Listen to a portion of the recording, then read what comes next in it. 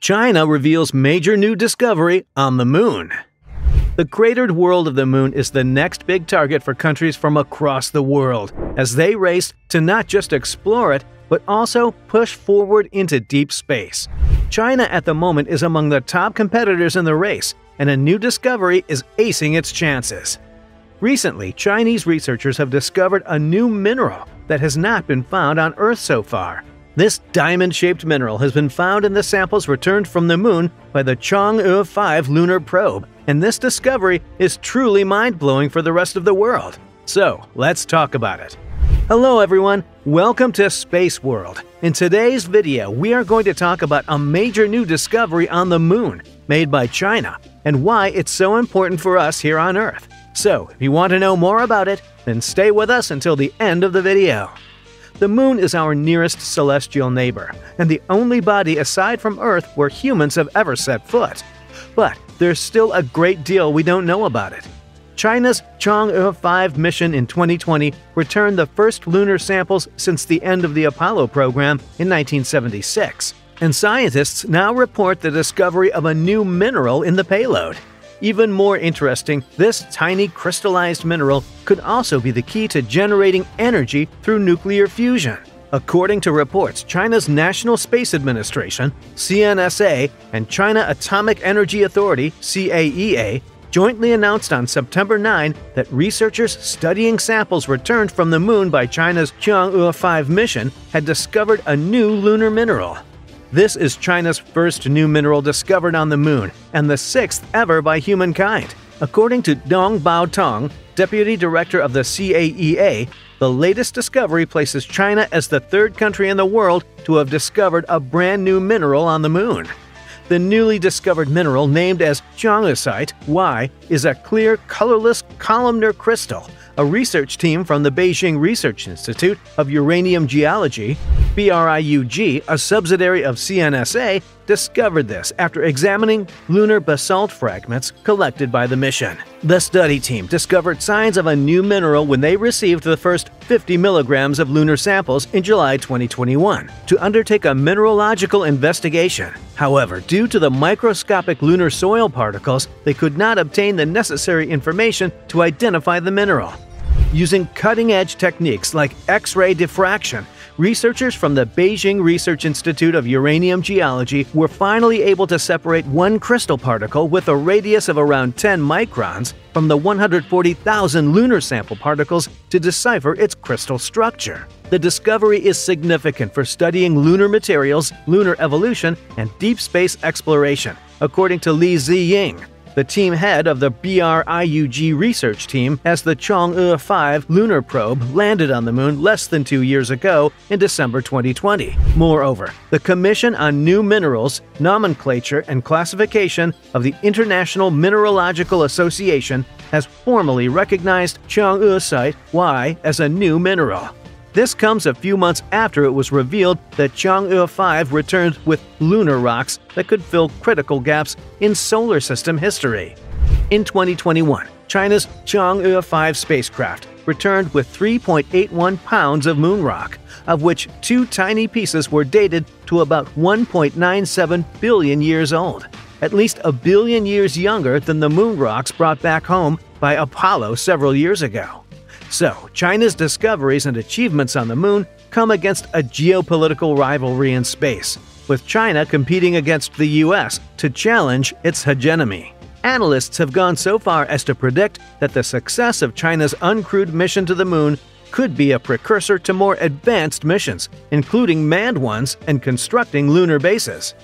Now, what are China's future lunar aspirations after the discovery? In 2020, the Chang'e 5 lunar probe mission, a significant achievement for China's space program, touched down on the moon. The mission's objective was to retrieve 2 kilograms of samples from the northern Mons Rumker region of the moon and return them to Earth. China is only the third country after the United States and the erstwhile Soviet Union to have achieved this feat since seven human Apollo spacecraft flights, six of which were successful, yielded 382 kilograms of lunar soil for the U.S. between 1969 and 1972. The former Soviet Union collected 301 grams of lunar soil using robotic probes between 1970 and 1976. Earlier this year, China announced that a constellation of satellites around the moon would be established as part of China's fourth phase of its lunar exploration program to provide communication and navigational services for upcoming lunar trips. So, to carry out its future missions, China will lead in developing a compact lunar relay communication and navigation system. Initiation of the tiny constellation could happen in 2023 or 2024, and it also urged international partners to join its endeavor. In addition to China's multi pronged lunar probe spread out over several missions, it strives to build a lunar base with Russia to challenge its rivals led by the United States. According to the roadmap, divided into three phases, five facilities and nine modules are planned for the station to support long and short missions to the Moon's surface and orbit.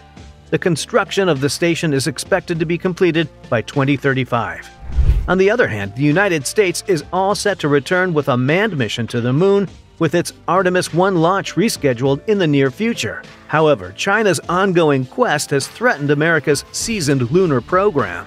In an interview with Bild newspaper, NASA chief Bill Nelson said that China could someday land on the moon and declare the satellite as its territory. So, what is NASA planning to do to win this competition?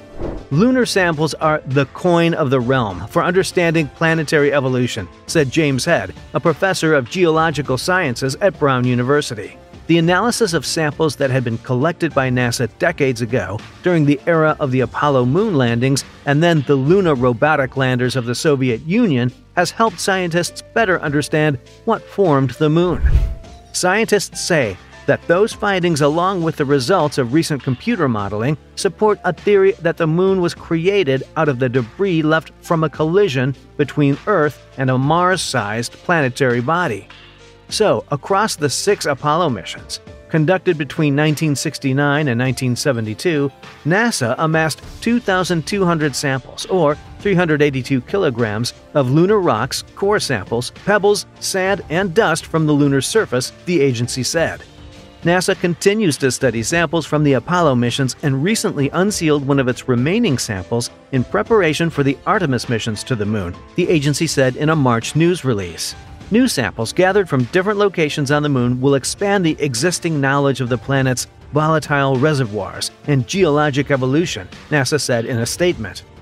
To date, most sampling has targeted the central part of the near side of the moon, the hemisphere that faces Earth, Professor Head said. So, new minerals discovered on the moon are not abundant, said Clive Neal, a professor of planetary geology at the University of Notre Dame. The first was armalcolite, found during the Apollo 11 mission.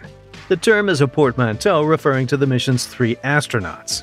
Upcoming expeditions, which include efforts by both China and the United States, are targeting unexplored territory on the Moon. Samples from other geologically interesting sites, especially from younger terrain on the planet, could help broaden scientists' understanding of how the Moon evolved, Professor Neal said. The Moon is still revealing some interesting secrets, he added. Apart from this, for several years now, NASA has publicly discussed the initial phase of its Artemis Moon program. These first three missions, to be conducted over the next four or five years, are steps toward establishing a human presence on the Moon. According to reports, the Artemis 1 mission should launch later this year, testing NASA's Space Launch Systems rocket and boosting the Orion spacecraft into lunar orbit. The second mission, Artemis 2, will more or less be a repeat only with four humans on board Orion. Then comes the big test, Artemis 3, which will send two humans to the moon and back during the middle of this decade. Beyond these missions, however, NASA has been vague about the timing of future Artemis missions to the moon, even as some members of Congress have pressed for more details. Now, we may know why. Ars Technica has obtained internal planning documents from the space agency, showing an Artemis mission schedule and manifest for now through the fiscal year 2034. So, although NASA can say it is sticking with the baseline plan for Artemis, this notational timeline is almost certainly unattainable. Already, the agency is looking at moving with the Artemis 3 mission beyond 2025 due to a number of factors, including a lack of moon ready spacesuits. However, Looking at the bright side, once NASA launches Artemis missions, they will completely change the ways of space exploration. And this is it for today, guys. What are your thoughts on today's video? Share your views with us in the comments below. Also, don't forget to give this video a thumbs up, subscribe to the channel, and ring the bell icon for more amazing videos about space. And thank you for watching.